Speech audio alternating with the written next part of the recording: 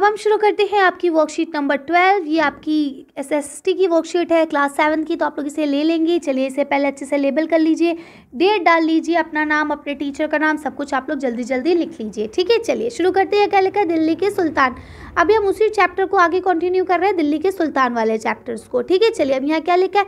पंद्रहवीं व सोलहवीं शताब्दी में दिल्ली के सुल्तान। अब ये पंद्रहवा और सोलहवीं शताब्दी की बात हो रही है।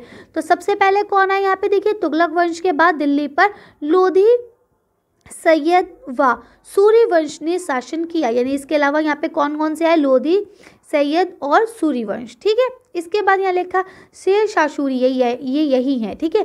कि शासनकाल में विकसित राज्य छोटे आवश्यक थे, परंतु वे शक्तिशाली थे। ठीक है? शेर शाह सूरी की द्वारा स्थापित की गई प्रशासन व्यवस्था भविष्य के राजाओं के लिए एक मिसाल बन गई थी। उसके बाद क्या लिखा है? बंगाल जौनपुर, मालवा, गुजरात, राजस्थान, दक्षिण भारत के अनेक राज्य एवं अफगान शासन दिल्ली सल्तनत के अंतिम वर्षों में हाँ अंतिम वर्षों में अस्तित्व में आए। यानी कि अब ये बोल रहे हैं कि जो बंगाल, जोधपुर, मालवा, गुजरात, ये जो और इस तरह के राज्य थे, यहाँ पे अफगान शासन जो दिल्ली पे आए, ये लास्ट में आए, ठीक है? उनसे पहले भी बहुत सारे लोग शासन कर चुके थे यहाँ पे। तो आपको समझ में आ गया? चलिए आगे पढ़ते हैं, यहाँ क्या लिखा देखिए, अलाउद्दीन खिलजी और मोहम्मद तुगलक के बाद प्रशासन की बीच तुलना, यानी कि उनके बाद जो है इन दोनों के क्या तुलना रही? यानी इन दोनों में से किसने क्या किया? कैसा शासन व्यवस्था चलाई? इसको देखते हैं। उसने आक्रमण के, से बचने के लिए अपनी एक विशाल स्थायी सेना खड़ी की। ठीक है, इन्होंने क्या करा? इन्होंने टैक्स ऑफ़िस पर हमला करने के लिए एक बड़ी सेना बनाई। इन्होंने अपने आप को बचाया और इन्होंने लड़ने की तैयारी की। ठीक है, इसके बाद क्या लिखा है?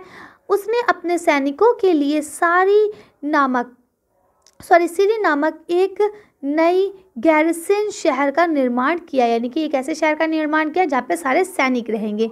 उसने दिल्ली के चार सबसे पुराने शहरों को निवासियों से खाली करवा दिया और वहाँ सैनिक छावनी बना दी। तो देखिए, अब आपको दिख रहा है ना, दोनों में फ़र्क, अलाउद्दीन खिलजी और मोहम्मद तुगलक में आपको फ़र्क दिख रहा होगा, ठीक है? इन्होंने नए चीज़ों को बसाया, इन्होंने पुरानों को खाली करा के उसको नया बनाया, ठीक है? सैनिकों का पेट भरने की समस्या का समाधान किया। ये गंगा और यमुना के बीच की भूमि से कर के रूप में एकत्रित उपज के माध्यम से किया गया। यानी अभी क्या करते थे? जमुना और गंगा के यम यानी जमुना या यमुना एक ही चीज़ है। इसके बीच में जो ये ज़मीन थी ये बहुत उपजाऊ थी।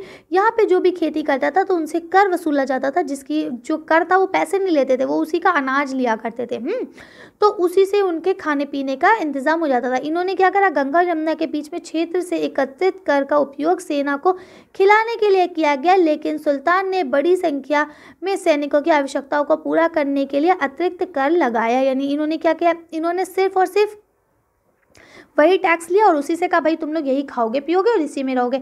इन्होंने क्या किया? वो टैक्स भी लिया और इसके अलावा भी बहुत सारे कर लगा दिए, किसके ऊपर? सेना के ऊपर कि अगर तुम लोग, ओ सॉरी लोगों के ऊपर कि देखो, हम तुम्हें सेना का प्रोटेक्शन दे रहे हैं, इसलिए तुम्हें ये सारी चीज़ें हमें देना होगी। उन्होंने अपने सैनिकों का वेतन इकट्ठा के बजाय नगद में दिया, यानी उन्होंने उसको जमा पूंजी उसमें देने की बजाय ऐसे कि टैक्स या ये जो चीज़ें होती हैं, ये लिए पैसों में, है ना? तो इन्होंने, उनको भी पैसों में दिया। ऐसा नहीं है कि उन्हें कुछ इसके बदले में दे रहे हों, ठीक?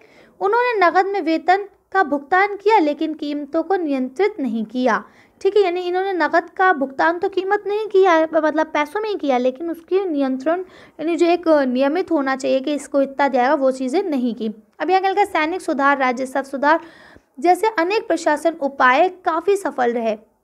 यानी इन्होंने राजनीतिक सुधार और सैनिक सुधार किया और जिसमें ये कामयाब भी रहे। इनके प्रशासन उपयोग असफल रहे। यानी इन्होंने जो जो चीज़ें, उपाय अपनाए, वो सब असफल रहे। कश्मीर पर उसका आक्रमण पूरी तरह से विफल रहा। यानी कि कश्मीर पर भी इन्होंने आक्रमण किया होगा कि ये हमारे हक में आ जाए, लेकिन वहाँ पर ये हार गए थे। फिर उन्होंने ट्रंप सेना का पर आक्रमण करने के लिए अपनी योजना छोड़ दी और अपनी बड़ी सेना को भंग कर दिया। यानी इसके बाद इन्होंने जो ख्वाब रखा था कि हम सेना को मतलब जीतेंगे अलग अलग जगहों पे और जब ये हारते चले गए तो इन्होंने उस सेनाओं को भंग कर दिया, यानी सबको बर्खास्त कर दिया, सबको नौकरी से निकाल दिया गया और कहा, अब मुझे इसकी कोई ज़रूरत नहीं है।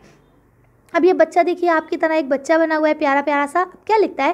कल्पना करें, आप अलाउद्दीन खिलजी या मोहम्मद तुगलक के शासनकाल में एक किसान हैं और आप सुल्तान द्वारा लगाए गए कर नहीं चुका सकते तो आप क्या करेंगे? तो बताइए, अब आप क्या करेंगे अगर आप ऐसे कर नहीं चुका पाए? तो चलिए इसका आंसर देखते हैं कि हम क्या करेंगे।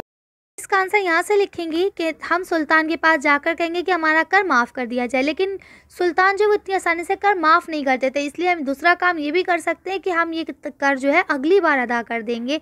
या इसको थोड़ा कम कर दिया जाए, हम इस तरह से कुछ भी उनसे कह सकते हैं, जो वो मान लें। अदरवाइज़ वैसे वो मानते नहीं थे, ठीक है ना?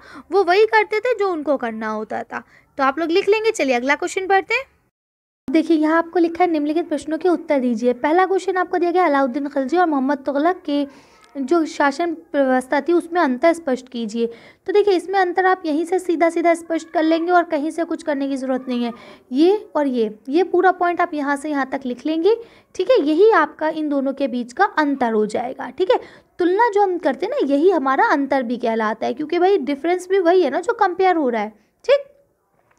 अब आपको यहाँ नेक्स्ट क्वेश्चन दिया गया नीचे दी गई सारणी में वंश के अनुसार उसके शासन के नाम लिखिए। अब तो मोहम्मद जो तुगलक शासन वंश था, उसके अंदर कितने तुगलक शासन है? उनके नाम लिखने या लोधी वंश के लिखने तो चलिए एक काम करते हैं, इसको अलग शीट पे आंसर देख के वीडियो को फिनिश करेंगे। तो देखिए, पहले आप लिख लेंगे सुल्तान मोहम्मद अलाउद्दीन बिन तुगलक और दूसरा आप लिख देंगे सुल्तान मोहम्मद ग्यासुद्दीन बिन तुगलक। ठीक है तो दोनों लिख लेंगे। चलिए, अगला क्वेश्चन पर अगला देखते हैं, दूसरे वाला। इसका आंसर यहाँ से लिखेंगे कि बाहुल लोधी ठीक है? अलेक्जेंडर लोधी ठीक है? और इसके बाद इब्राहिम लोधी तो आप तीनों का यहाँ पे नाम लिख लेंगे। चलिए तो आज की वर्कशीट को ये खत्म करते हैं। आज की वीडियो में बस इतना है। अगर आपको मेरी वीडियो पसंद आई तो प्लीज़ इसे लाइक और शेयर करें। अगर अभी तक आपने मेरे चैनल को सब्सक्राइब नहीं करा है तो प्लीज़ मेरे चैनल को सब्सक्राइब करें। Thank you for watching